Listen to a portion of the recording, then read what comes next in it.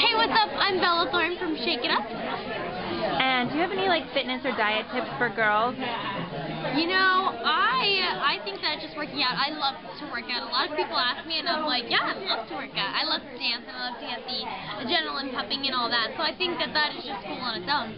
What's your favorite song to dance to? I would say the Cat Daddy by the Rejects. Yeah, song.